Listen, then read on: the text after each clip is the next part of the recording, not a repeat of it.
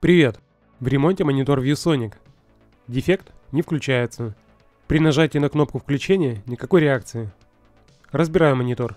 Клиент говорил, что пытался самостоятельно отремонтировать монитор, но ничего не получилось.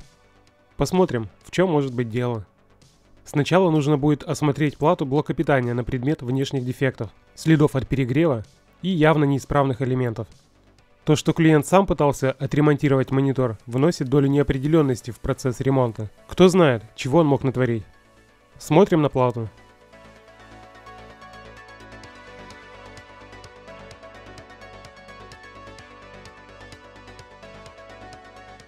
Первичная или высоковольтная цепь блока питания сгорела в буквальном смысле. Имеем непредусмотренное изготовителем отверстие в микросхеме шим. Также обвязка не в лучшей форме о чем говорят следы копоти. Короче, случай тяжелейший, и если у вас за спиной нет многолетнего опыта ремонта подобных блоков питания, то я не советую суваться в такой ремонт. Будет потрачено много времени, нервов и денег на детали. Открутил винты и вынул плату из рамы. Осмотрим. Силовой конденсатор вспух. Его также под замену. Сгоревший резистор. Для проверки выпаял силовой транзистор. Транзистор неисправен. На его выводах короткое замыкание. Все, что могло сгореть, сгорело. Делаю вывод, что нерентабельно ремонтировать первичную цепь блока питания. Поясню свой вывод. Во-первых, мне нужно будет проверить все оставшиеся элементы первичной цепи, которые не имеют явных повреждений. Во-вторых, нужно будет заменить все выявленные неисправные детали. В-третьих, возможно после замены неисправных деталей блок питания не заработает что опять же приведет к трате времени на поиск неисправности. Из всех вышеперечисленных доводов делаю для себя вывод, что ремонт экономически невыгоден. Проще и дешевле заменить блок питания в сборе. Так как подобных плат блоков питания сегодня днем с огнем не сыскать, просто переделаю плату под питание от внешнего блока питания. В мониторах обычно используются две цепи питания. Цепь плюс 5 вольт для питания главной платы и матрицы, и цепь от плюс 14 до плюс 20 вольт для питания инвертора. Инвертор поддерживает работоспособность в широких пределах питающего напряжения. Проще всего взять блок питания с выходным напряжением от 14 до 20 вольт, а цепь плюс 5 вольт получить от дополнительного преобразователя напряжения, который можно распаять прямо на плате блока питания монитора. Максимальный выходной ток блока питания для подобных мониторов должен быть не менее 3 ампер. Почему не менее 3 ампер? Потому что общая мощность потребления этого монитора около 40 Вт. Точнее 44 Вт. 44 Вт при напряжении в 14 вольт – это примерно 3,14 ампера. Под наши требования подойдет практически любой блок питания от ноутбука. Такие блоки питания стоят недорого и всегда есть в наличии практически в любом магазине техники или на Авито. Поэтому решено. Переделываем монитор под питание от блока питания ноутбука. Подключаться блок питания к монитору будет через стандартный разъем. Ссылка на такие разъемы будет в описании под видео. Разъем установлю вместо штатного разъема для кабеля питания.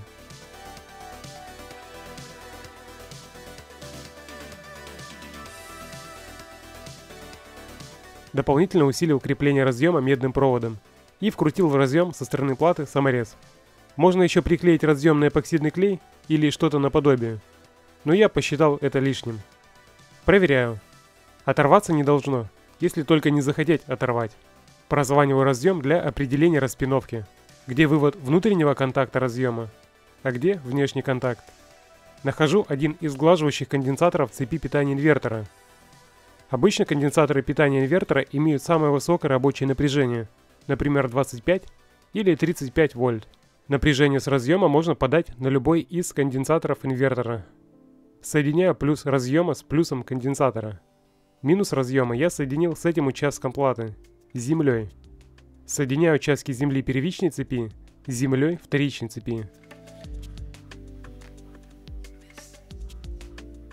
Подключаю блок питания. Напряжение 19 вольт.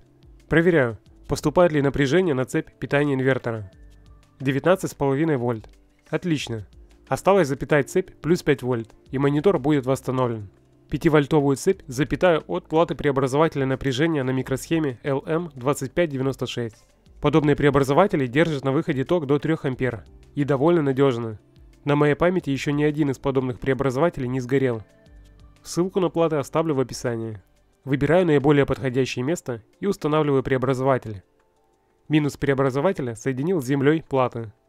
Входной плюс подал от питания инвертора. Прежде чем впаивать преобразователь к цепи плюс 5 вольт, нужно настроить преобразователь на 5 вольт. Преобразователь я где-то уже использовал и выпаял подстроечный резистор. Впаиваю резистор обратно. Включаю блок питания и с помощью подстроечника выставляю на выходе преобразователя напряжение 5 вольт. 5,3 вольта. Отлично. Соединяю выход преобразователя с положительным выводом сглаживающего конденсатора цепи плюс 5 вольт. Проверяю. Цепь питания инвертора запитана. Питание главной платы в норме. Устанавливаю плату в монитор. Подключаю блок питания и включаю.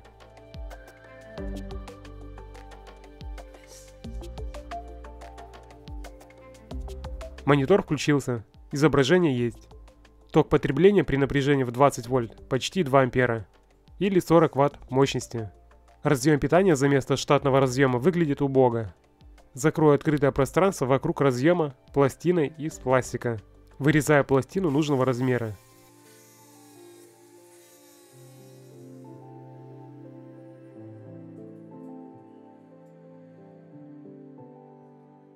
Высверливаю отверстие. Вклеиваю пластину на суперклей. Собираю монитор и тестирую. Раз монитор подключен через блок питания, проделаем небольшой опыт.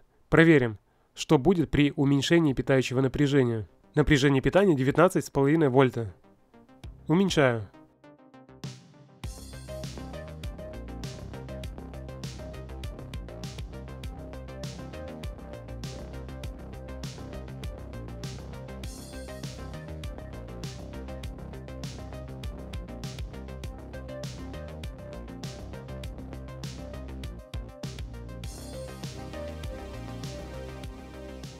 При напряжении в 13 вольт погасла подсветка.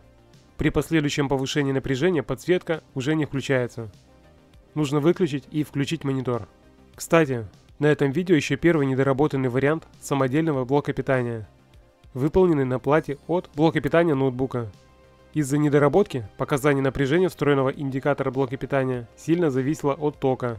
После доработки и в последующей версии блока питания такой дефект пофиксил. А теперь посмотрим, что будет, если ограничить ток потребления монитора? Зажегся индикатор ограничения тока. Подсветка при этом чуть потемнела.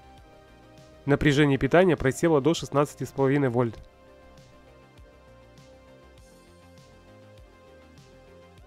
При дальнейшем ограничении тока подсветка гаснет.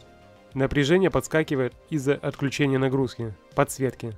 Хотел добавить, что этот ремонт от 14 января 2016 года, Метод показанного здесь восстановления монитора рабочий и простой. Никаких нареканий по надежности дальнейшей работы монитора нет.